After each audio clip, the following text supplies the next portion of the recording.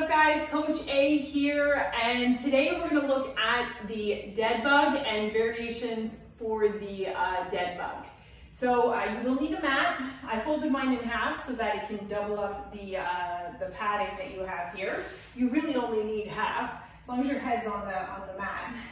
And so dead bugs, their arm and legs are in the air or you can just leave your arms down if it's too confusing to do both.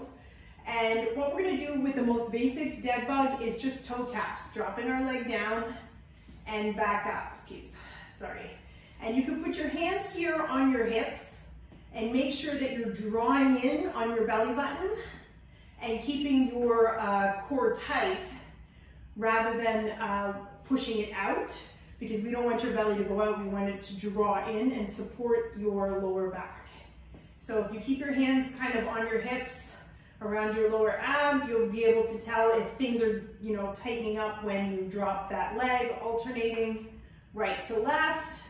Or we can do all one side and then all the other side if you prefer.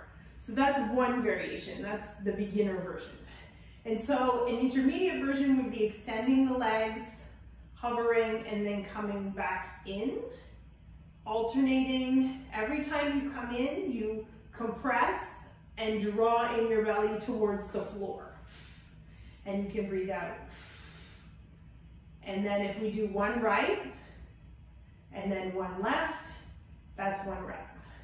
One right, one left, and then we count. So you can either count one, one, two, two, like that, or you can count and then just double the number. So one, two, three, and if I say 15 reps, that's 15 right, 15 left, so that's 30 reps.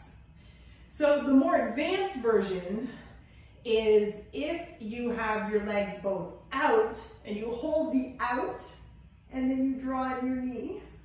So you maintain tension the entire time. This is killer. And so if you want, you can always start the reps like this. And then once it becomes to the point where you can't hold it like this anymore with good form. You just shift to the, the, the other version with the knees in and then finish off the set. And then you can progress from there. But this, this one with the legs out and then you alternate with the feet in. This one can be uh, quite a challenge. You see I'm like shaking. so this is the dead bug, beginner, then intermediate, obviously, and advance. So give it a go. Let me know how it goes. Comment down below. Can you do all three? Can you do two of three?